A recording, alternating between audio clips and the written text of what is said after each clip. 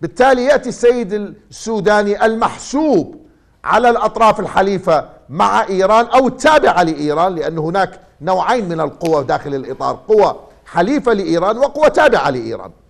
لهذا يعني هذا هذا الشهر العسل الوهمي الذي يظهر من خلال زيارات السفيرة الأمريكية المتكررة إلى آه، السيد السوداني خفض طبيعة الخطاب الذي يستخدمه الخطاب يعني لاحظ على سبيل المثال منذ مجيء حكومة السوداني حتى هذه اللحظة لم يعد أحد يتحدث عن الوجود الأمريكي في العراق أو الاحتلال الأمريكي كان كما كان يسميه الإطار فيما قبل.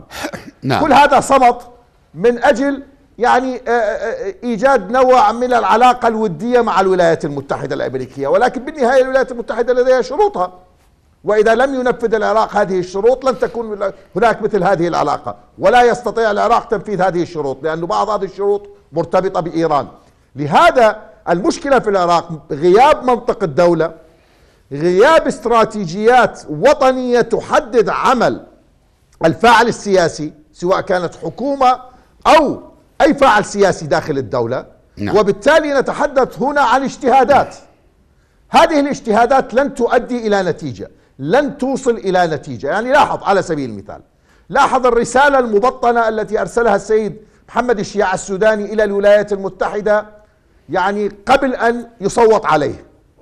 عندما كتب تغريدة عن قضية قرار أوبك بلس المتعلق ب يعني سقف الإنتاج يعني في حينها. واضح كانت رسالة إطارية إلى الولايات المتحدة الأمريكية بأننا ضد الموقف الذي اعتبر موقفا روسيا سعوديا فيما يتعلق بسوق الطاقة. هذا ما الذي يعنيه ذلك؟ هذا يعني اننا أمام اجتهادات. لا وجود لسياسة تحدد يعني أو عفوا استراتيجية تحدد سياسات الدولة فيما يتعلق بالطاقة فضلا عن أشياء أخرى. لهذا أقول دائما أنه ما دمنا في هذا السياق لن تكون هناك أي سياسة منتجة. لأنه السياسات لا ترسم اعتباطيا، لا ترسم على أساس اجتهادات خاصة، لا ترسم على أساس مصالح خاصة، وإنما ترسم على أساس مصالح وطنية لا وجود لاتفاق حتى هذه اللحظة في العراق على هذه المصالح الوطنية طيب. أو طبيعتها